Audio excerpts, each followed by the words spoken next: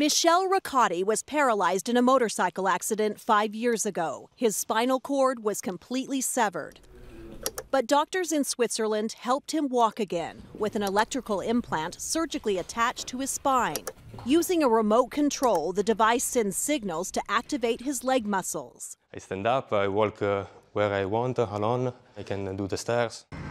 Researchers say it's the first time someone this injured has been able to walk again. This is not the cure for spinal cord injury, but it is a critical step to improve people's quality of life.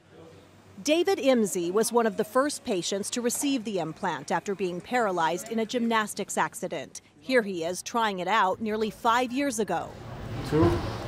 He's made huge strides since then. Ready, set, go. At his home in Zurich, he's now a father, racing with his one year old daughter Zoe. It's the first time I've been walking with her in, in that way. She with a baby walker, I with my walker. Ah, you're too fast, Zoe, wait for me. She even beats me without the walker, so it's a bit embarrassing.